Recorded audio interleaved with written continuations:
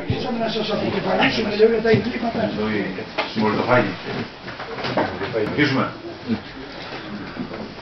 Ε, καλησπέρα, χρόνια πολλά σε όλους. Καλώς ήρθατε πάλι μεταζητητές.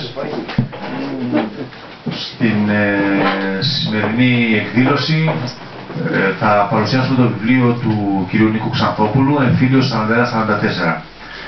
Ε, ποιος έθεσε για το βιβλίο αυτό θα μιλήσει ο συγγραφέας και ο γνωστός φίλος ε, γιατρός ε, Κώστας Κριτήρης. Ε, το πρόγραμμα του Μαΐου θα βγει από Δευτέρα, μπορείτε να το πάρετε από εδώ όποιος ε, περάσει από την, από την περιοχή. Ε, έτσι κι αλλιώς την ε, πρώτη πέμπτη του Μαΐου είναι πρωτομαγιά, δεν θα, κάνουμε, δεν θα έχουμε εκδήλωση. Θα ξαναβρεθούμε λοιπόν ε, στις 8 ε, Μαΐου όπου θα μιλήσει ο απόστατος στρατηγός ο κ. Χάρης Τρικινίδης με θέμα ε, για τη γενοκτονία του ελληνισμού της Ανατολής, για την νομική τεκμηρίωση του εγκλήματος της γενοκτονίας των Ελλήνων της Ανατολής. Δίνω το λόγο στον κύριο Καψάλο να ξεκινήσει τη σημερινή παρουσίαση με, τη, με τα γνωστά του θέματα.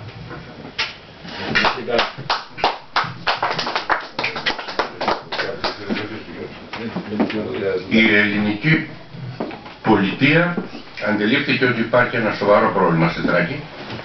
Το άσχημο είναι βέβαια ότι το αντιμετωπίζουν με έναν τρόπο παλαιοκομματικό πάλι, με κομματικές αντικλήσεις και δεν ξέρω αν είναι καλό ή κακό αυτό, διότι επικεντρώνονται σε δευτερεύοντα θέματα και όχι στα βλέποντα. Είναι αλήθεια πως ε, πολλοί θεωρούν ότι η Θράκη είναι μακριά και είναι θλιβερό το γεγονός ότι μετά τα γεγονότα του Κωσυφοπεδίου όπου για πρώτη φορά αναγνωρίστηκε το δικαίωμα σε τιμήμα ε, χώρας της οποίας ο λαός εκείνης της περιοχής είχε πλειοψηφία να αυτονομηθεί.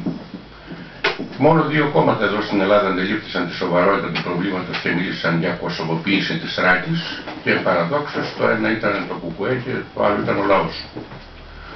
Τα αστικά κόμματα τα οποία διεκδικούν την εξουσία δεν κατάλαβαν τίποτα από ό,τι συμβαίνει.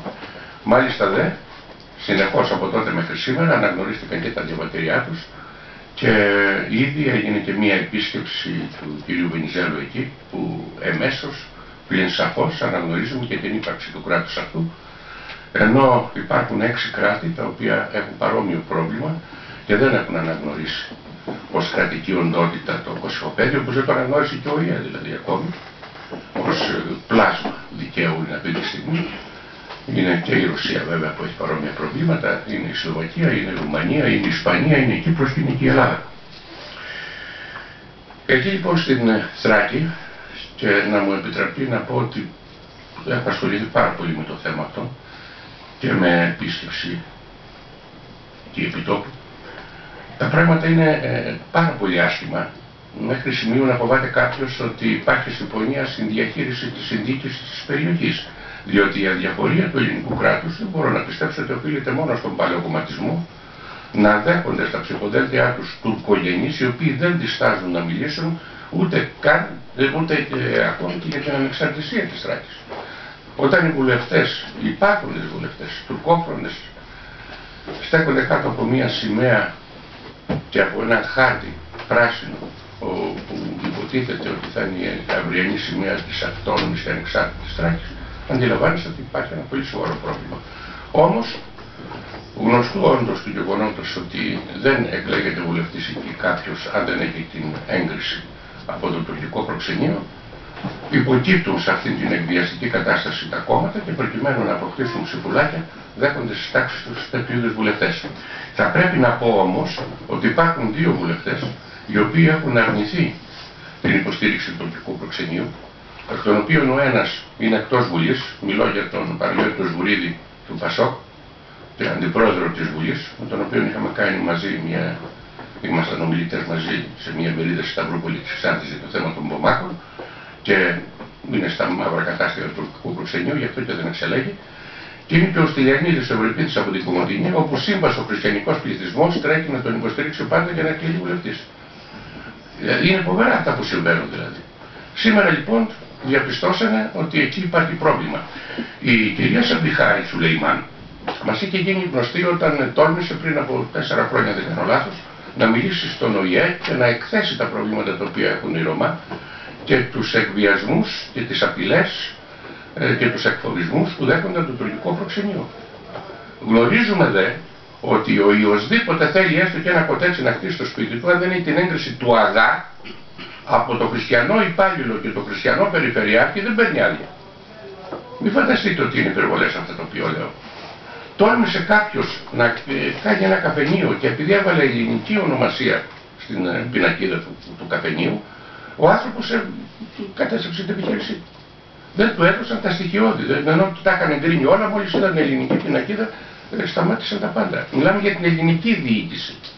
Και είναι υποκρισία των κομμάτων. Βεβαίως αυτό που έκανε ο ΣΥΡΙΖΑ είναι γνωστό, δεν το περιμένουμε αλλιώς. Έχει είναι διεθνιστικό κόμμα, ενδιαφέρεται για όλους τους προλετάριους όλων των λαών. Η έννοια της πατρίδα είπε ο Μάρξ ότι είναι ε, μια έκφραση των κεφαλοκρατών και εφεύρεση των κεφαλοκρατών με φυσιολογική συμπεριφορά. Τι Τούρκοι, τι Έλληνε, εκεί να έχουμε την εξουσία. Αλλά η υποκρισία των αστικών κομμάτων εμένα με ενοχλεί περισσότερο. Αφού έχουν μέσα στι τάξει του τροπογενεί βουλευτές ανθρώπους οι οποίοι επισκέπτονται το τουρκικό προξενείο, παίρνουν την έγκριση του τουρκικού προξενείου, ακολουθούν όσοι τον Μπακτσελή ακολουθήσανε.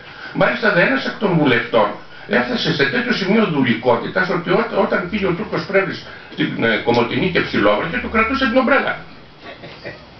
Γελιότητες. Αυτά δεν τα ξέραν, τώρα τα θυμηθήκαν.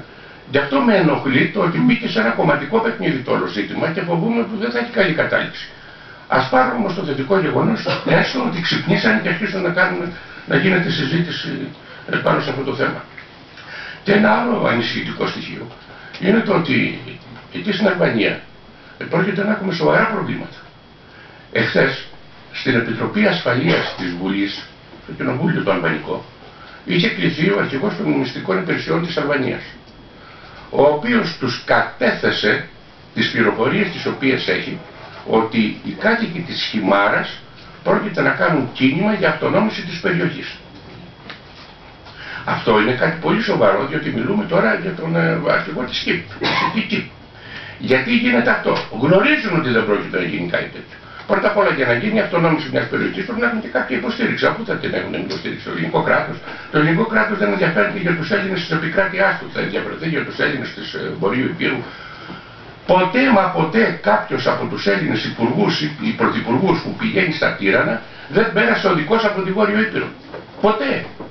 Ο μοναδικός που πήγε και αυτό για λόγους βέβαια δικούς του, γιατί από εκεί κατάγεται είναι ο, ο πρόεδρος της Δημοκρατίας που πέρασε από εκεί. Γιατί μια φορά είχε και τα γνωστά επεισόδια που το επετέθησαν οι Κωσοβάροι. Πηγαίνουν αεροπορικώς και φεύγουν δεν πηγαίνουν να επισκεφθούν τη Βόρειο Ήπειρο όπου έχουμε δικαίωμα βάσει των συνδικών τα 99 χρονιά να αποτελούν την ελληνική κοινότητα και όχι μειονότητα. Η ελληνική εθνική κοινότητα είναι βορειοπυρώτης που σημαίνει ότι είναι η μόνη κοινότητα η οποία δικαιούται στα Βαλκάνια να φέρει την σημαία του ελληνικού κράτους. Δεν είναι απλώς μια μειονότητα. Γιατί λοιπόν δημιουργήσαν αυτό το θέμα; Η Σιμάρα, όπως έχει πάει θα το έχετε διαπιστώσει, είναι το καλύτερο οικόπεδο της Αδριατικής. Μια πανέμορφη περιοχή με τη θάλασσά της. Αλλά είναι και ένα εξέχον γεωστρατηγικό σημείο. Η Κέρκυρα είναι απέναντι, αλλά απέναντι είναι και νήσος Σάσον. Για όσους έτυχε να μην γνωρίζουν, την Σάσονα την έδωσε ο Ελευθέριος Βενιζέλος διότι τη θεώρησε ένα, ένα βράχο που δεν του χρειάζεται, όπως έλεγε για το 12 άλλωστε και αυτά είναι γραμμένα. Και ενώ την απελευθέρωσε ο ελληνικός στρατός στους Βαλκανικούς πολέμους, χωρίς να υπάρχει καμία ανάγκη και καμία ισχυρή πίεση και καμία αντίδραση από ελληνικής πλευράς, παρακολουθήθηκε στους Αλβανούς. Ενώ υπήρχε ελληνική σημαία στο νησί, πήγε αντιτορπιλικό από την ε, Κέρκυρα, υπέστειλε την ελληνική σημαία, υπήρξαν 16 οικογένειες βλάχων ποιμένων που ήταν στο νησί, νησάκι μικρό είναι, παρακαλούσαν να μην τους εγκαταλείψουν, τους διαβεβαίωναν οι δικοί μας ότι έχουν την εγγύηση της αλβανικής κυβέρνησης, δεν τους πειράξει κανείς, και μόλις έφυγε το νητροπηλικό τους κατέστρωσε. Αυτό το νησάκι το αγόρασε με 1,5 δισεκατομμύριο δραχμές ένα αστείο ποσό η Ιταλία μόλις η Αλβανία έφυγε από το καθεστώς του Εμπερκότσα.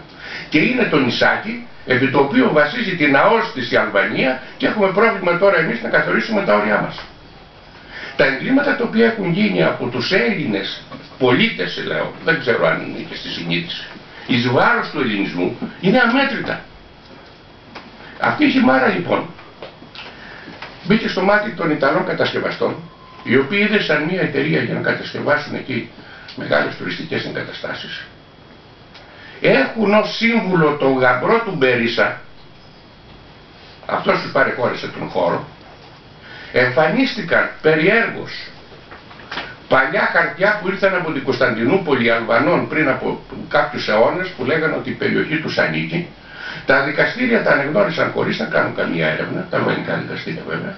Εκδιώκουν τους Έλληνες εκεί που ζουν από αιώνες, πριν αφανιστούν οι Αλβανοί που δεν ξέρει κανείς από πού ήρθαν, που δεν είναι βέβαια Ελληνοί. Με αποτέλεσμα και αυτή τη στιγμή να εκδιώκονται Έλληνες, να υπαρπάζονται τα κτήματά τους, η ελληνική πολιτεία καθέβει και προκειμένου να τους εκφοβήσουν και να τους πιάσουν περισσότερο, μόνο έτσι εξηγείται αυτή η γελιότητα του αρχηγού των μυστικών υπηρεσιών της Αλβανίας, να καταγγείλει εχθές δημοσίως μέσα στο Ευρωπαϊκό Κοινοβούλιο ότι ετοιμάζουν αυτονομία όπως λέει της Κρυμαίας.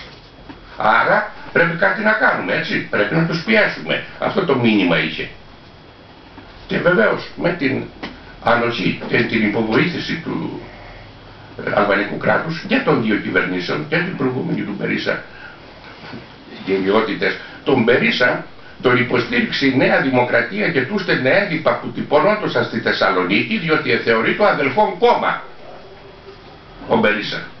Ο Δε Ράμα υποστηρίζονταν από τον Πασόκ διότι θεωρεί το αδελφό κόμμα του Πασόκ. Δεν κατάλαβα αυτή τη στιγμή αυτές οι υποστηρίξεις σε τι ωφέλησαν την Ελλάδα. Ο Δε Κώστας Καραμαλής είχε πάει παραμονές των εκλογών για να υποστηρίξει τον Περίσα όταν ήταν πρόεδρος της Νέας Δημοκρατίας. Ο Δε Γιώργος Παπανδρέου είχε πάει να υποστηρίξει το ράμα. Ας πηγαίναν. Ποιο είναι το αντάλλαγμα. Δεν καταφέραμε ακόμα να κάνουμε στρατιωτικό νεκροταφείο να θάψουμε τους νεκρούς μας του βορειοπηρετικού αγώνα και όχι αλβανικού όπως ανοήτως έχουμε αποδεχθεί. Δεν πολεμήσαμε ποτέ στην Αλβανία εμείς. Βορειοπηρετικά βουνά ήταν αυτά τα οποία πολέμησαν και σκοτώθηκαν οι προγονείς μας. Και είχα ρωτήσει κάποτε τον Σούλα, ο οποίος, να το ομολογήσουμε, προσωπικά ο άνθρωπος έκανε κάποιες προσπάθειες.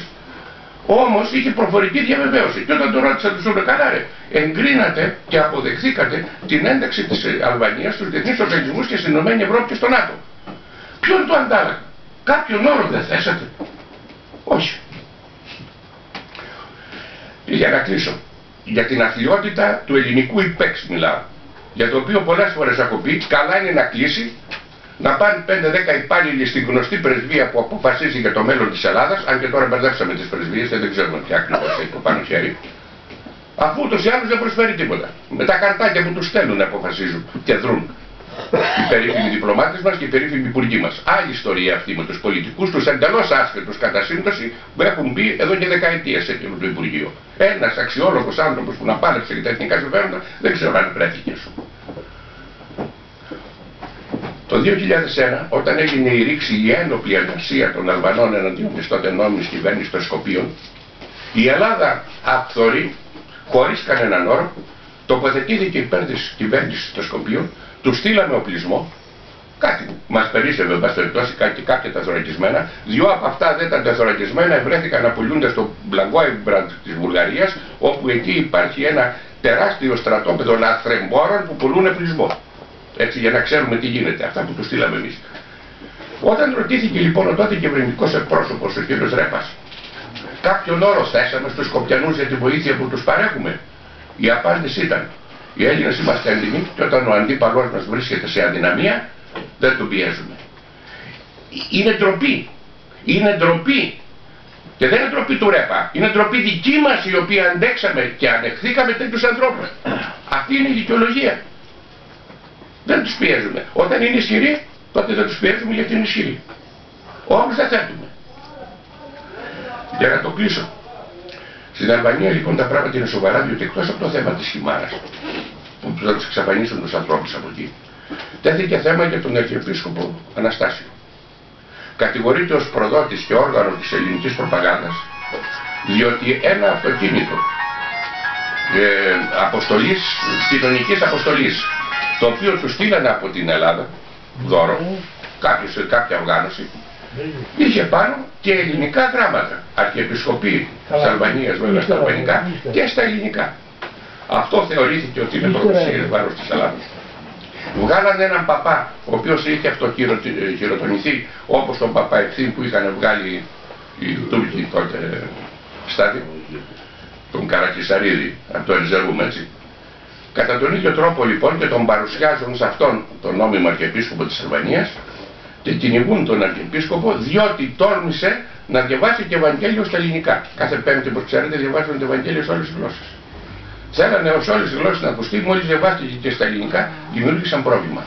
Επομένως, υπάρχει μια καθοδηγούμενη ανθελληνική προπαγάνδα από το επίσημο αλβανικό κράτος με όργανα, πότε τον ίντριζε, έναν απαταιώνα για τον οποίο οι ίδιοι οι Αλβανοί έχουν γράψει ότι είναι από τους περισσότερο διαφθαρμένους πολιτικούς από την εποχή ακόμα του Φάτος Νάνο όταν τον είχε τοποθετήσει σε μια θέση και ψάχνει να βρουν το ταμείο.